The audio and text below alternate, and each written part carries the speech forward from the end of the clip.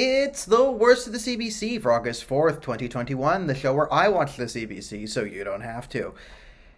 What's the point? What's the point of even watching today? Now, I can't decide if the CBC is better or worse during the Olympics because they really don't cover anything. They do some Olympic coverage, which I guess they have the rights to, so they're doing it because they can show it. So Andre De Grasse won gold in the men's 200 meter. Congratulations, Andre! Um, high five from the country. Uh, and other than that, like it was just press conference of Ontario you know, and, and good on it. It was like they showed Stephen Lecce or whatever saying, you know, we're not going to force anyone to get vaccines. We're not going to force vaccines on the kids.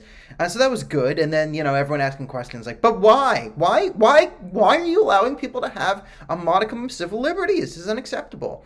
And then he'd have to justify because, like, you know, Daniel is right, and you can't force people to uh, disclose private medical information as a precondition for participation in the domestic economy.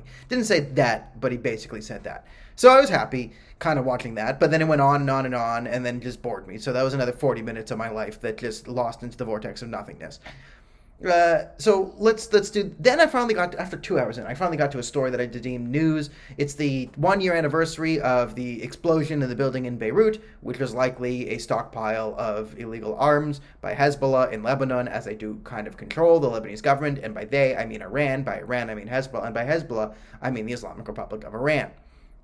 Now, I'm going to make the thumbnail for this video um, the picture of the protests in Lebanon today, where it's actually saying Iran out. This is why I like Lebanon. And I like the Lebanese guy that brought in. So, I, don't, I don't know what the Rosemary Barton scale gets, but for my man, I think it was Nadim Hamoud, the Lebanese immigrant or Canadian guy they interviewed last year and then brought on this year to come to Canada. This, this is, okay, this is the people we want to talk to in terms of immigration and the Middle East.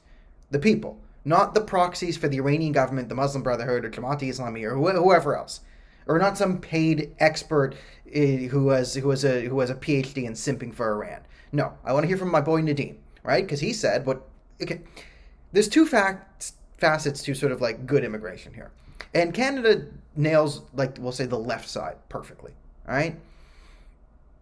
We have had almost no problems with Lebanese immigrants. Uh, Lebanese immigrants tend to be like the third most wealthy. They're definitely in the top five of like you know wealth accrued of you get a significant ba- brain gain. So part of the immigration game is like you want uh, brain gain. You want the best and brightest coming to your countries and all the innovations and technologies and high you know high skilled labor being produced in your country and the, the smarter and the more talented people you have the better it is so the way canada gets a brain gain from lebanon is lebanon has a pretty you know solidly built up population let's say it's not a hellhole third world thing. Although Hezbollah and Iran are trying their hardest to make it so, it's not.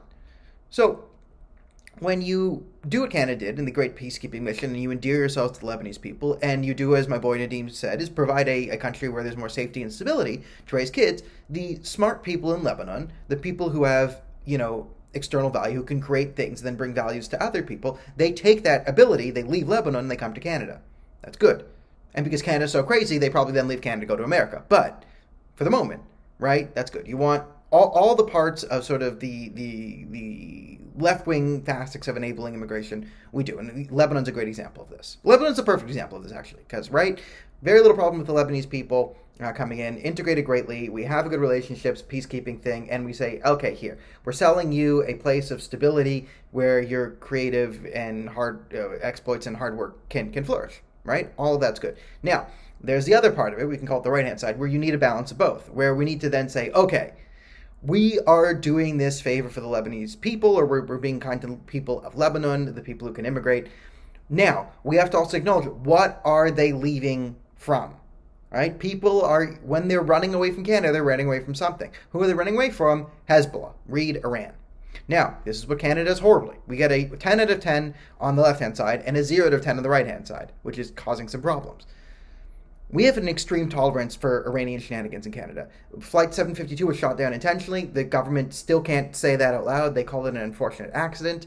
You know, I broke the, I did the story on that years ago as the first one to sort of call that one. Now, you have my boy Nadim, who's saying the problem is the government, right? The problem is Hezbollah or Iran. Because when you let Hezbollah or Iran do whatever they want, they will stockpile weapons. So if they get to the point in your country, read Lebanon, where they have enough control of the government where they can get away with everything. So they keep stockpiling arms in, in downtown Lebanon, and then kaboom, it explodes, killing many people and causing billions of dollars worth of damage to the country. Hezbollah bad. Now, is Hezbollah in Canada going to stockpile enough munition, munitions in, you know, the friggin' PD building or some Bay Street thing or some condo down by the water to, to cause massive damage? No. But they will get away with what they're allowed to get away with. And a couple of years ago, we had a story where we saw Hezbollah operatives at Pearson Airport sort of planning attacks. So it's very reasonable to assume that Hezbollah will do what they always do and push the boundaries to see what they can get away with, right? They'll, they'll try and push for more and more influence in whatever country they go into. They'll stockpile weapons right? And usually in, in conjunction with organized crime. Like you saw this with the Danforth shooting, right? The connections between what seems to be a, a terrorist attack and, and organized crime and a bunch of other things. You know, Hezbollah tends to get involved in this type of thing, especially in South America, where they're totally involved in, in, in narco terrorism. Right? So enabling the people who drove Nadim out of Lebanon to come make homes here in Canada isn't going to help anyone, right? You need to say, okay, there's a bad situation here, like the Syrian refugees. Okay, Syrian refugees.